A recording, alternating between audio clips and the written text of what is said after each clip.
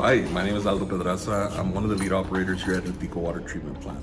I'm gonna go ahead and show you guys uh, the entire plant, the processes of how we treat the water, how we bring it into the plant, uh, exactly how we treat it, and then how we distribute it out to the city to feed you guys. So let's go ahead and come on, follow me.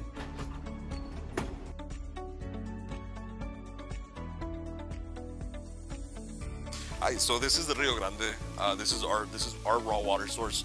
So right here, it is completely untreated, and where we're standing at is actually the intake. So everything here are what's called the gates.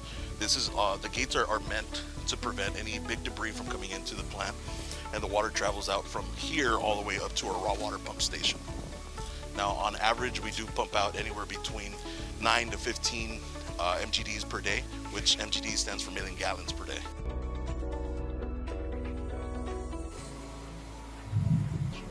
These are our traveling screens. You know, our traveling screens, the purpose of them is to be able to catch any any debris that does get into the gates. So now these are the raw water pumps. Now we have pump one, pump two, pump three, and each one of these pumps are rated to treat up to 15 MGDs, which again stands for million gallons per day. Uh, now it does get to a 60 inch line, and as well all the recycled water that's coming from the uh, screens and all the recycled water that comes in from the plant itself does come back into the plant as well. So we do take uh, count of that as well, so we know how much raw uh, recycled water we're treating, as well as how much raw water we're treating.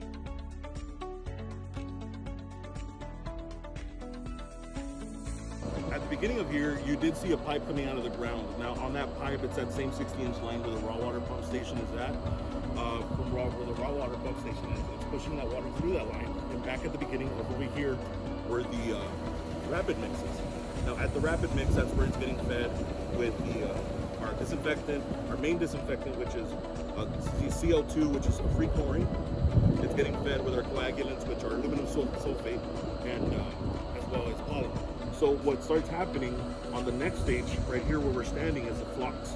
And in this stage, that those that polymer and that alum start combining the dirt and start magnetizing to each other. So you get these little particles called floc.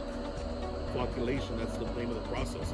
So the, the, the objective is to be able to start creating a bigger and bigger floc, to uh, an adequate size to be able to weigh it down in the settling basins, which are called the clarifiers.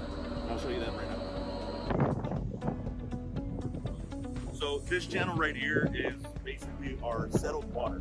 Now, what it is, is if theoretically if we're running both sides, then this is a collected, a collected sample from both, both sides of the clarifier. But since we only run one at a time for the moment, uh, this is just a collected sample of all three clarifiers in that train from beginning all the way through the end, over the weirs.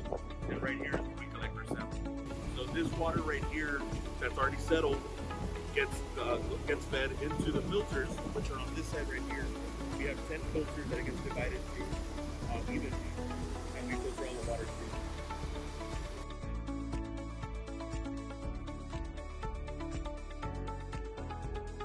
So we're probably about to scour it, which means that we have a big blower, a big like considered like a like a big fan throwing all this high pressure air into the filter from the bottom up and it's mixing up all the dirt and I mean all the sand, all the anthracite to be able to release all these fun particles of floc, dirt, any kind of little debris and stuff like that can trap inside of it, all the air that gets trapped. And we scour it for anywhere between three to six minutes, depending on the operator. Everybody has a preference as well as each filter has its own. And then while it's backwashing or while it's scouring, we do bring in fresh water from the same collected water, which is 90S, uh, to be able to go ahead and start bringing it up.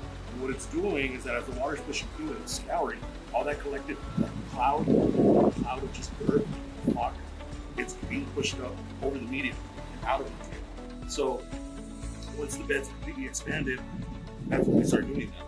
And um, once we get all the water out, then we bring in more water, which is a rate. We start going over, and into the, the drain. Now from here, what it does, it gets sent to the EQ basin.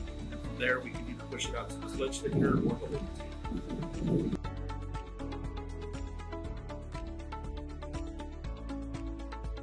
here's the lab, and this is where the guys come to test their samples every two hours. Now they grab samples from everywhere within the plant, starting from the raw all the way to the rapid mix, the flocs, the settling basins, the clarifiers, uh, the settled water, as well as sometimes the filters and our clearwell, our finished product that we're actually distributing out to you guys. So now let me go to show you real quick how, it is that they sample and what they sample.